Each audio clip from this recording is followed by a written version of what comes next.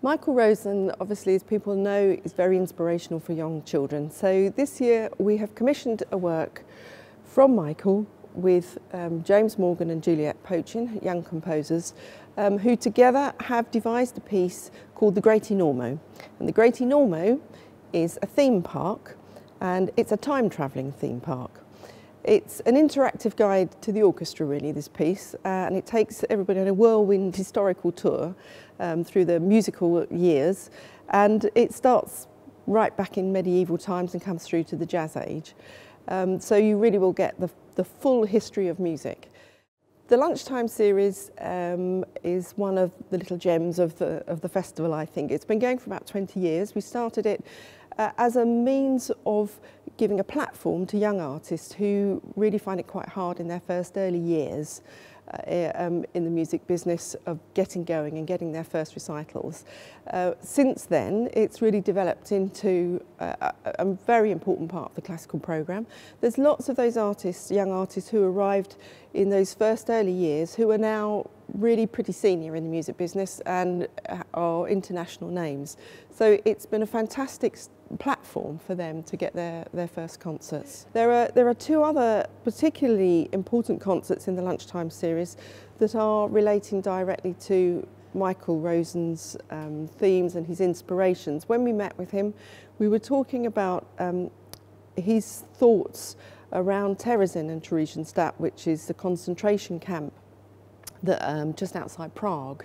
But out of this particular camp came the most amazing art. And in particular, there were a lot of composers working there. Um, people like Victor Ullmann, Pavel Haas, uh, Gideon Klein. And they were also playing the music of uh, their own native country. So there's a lot of um, Dvorak, Smetana, Janacek, Suk. So throughout the festival, um, you'll see these composers appearing. Um, in the lunchtime series, uh, the Cavalieri Quartet will play Janacek's Intimate Letters as part of their programme. And um, the Bush Ensemble, who are one of our young players, um, young ensembles, will play Suk's Elegy, and their concert's on the 8th of May. And that's a particularly um, poignant day because it was the 8th of May in 1945 that the Russians uh, liberated Terezin concentration camp. So um, we're, we're kind of building up a focus. The most exciting concert for me will be the closing concert, uh, which is the Britten Sinfonia, who uh, often perform with no uh, conductor, which is pretty unusual and a real skill. They're, they watch their leader, they listen to each other um, in a particular way. It's, it's, a, it's a very unusual thing, uh, but it does give um, real excitement to the music. And they're going to um, give us the European premiere of a work by Tarik O'Regan. Tarik O'Regan uh, came a few years ago uh, and uh, we had another premiere of his which was fantastically well received. It was a brilliant piece. So this piece um, called Chabi uh, is, uh, promises to be just as exciting. Uh, it's teamed with the Mozart Oboe Concerto with the soloist Nicholas Daniel um, who will also be directing the orchestra himself.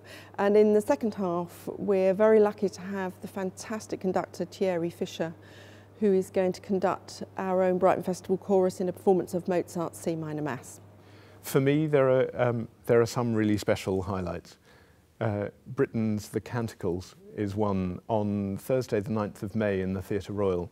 This is a, a, a fantastic new uh, production and a collaboration with Aldeburgh Music. Neil Bartlett and Paulie Constable, two Brighton-based artists, are coming together and responding to the Theatre Royal, one of their favourite spaces in all the world, um, using five works of Benjamin Britten that are very well loved by audiences. Um, the canticles span Britten's career from the 40s to the 70s. And, uh, and this work will bring artists of uh, choreographers and visual artists together with Neil and Paulie and some of the finest musicians um, to, uh, to explore these works, which are so well known in a completely new and different way. We're of course really thrilled about the new work that we're bringing to the festival this year, but I'm also really pleased to showcase work that has thrilled audiences across the country in previous years. One work in particular is How Like an Angel, which is a collaboration between Circa, the circus group, and I Fagiolini, the choral group, and was part of the London 2012 Festival and Cultural Olympiad last year. It thrilled audiences in cathedrals around the country. We don't have a cathedral in Brighton and Hove, but we do have All Saints in Hove, which is a magnificent church and extraordinary architecture for this piece to be, uh, to be played out in. For anyone that really loved Janet Cardiff's installation at Fabrica two years ago, and the fantastic choral work Tallis's Spem in Alium, the 40-part motet that was performed alongside it. This is a piece for you. It's, uh, it's a magnificent, meditative and breathtaking experience. Uh, the audience promenade around the space whilst uh, the most extraordinary acrobatic work goes on at height and the work of Josquin, Victoria and Hildegard von Bingen is, uh, is performed by I Fagiolini. They're some of the best singers around. You have to come.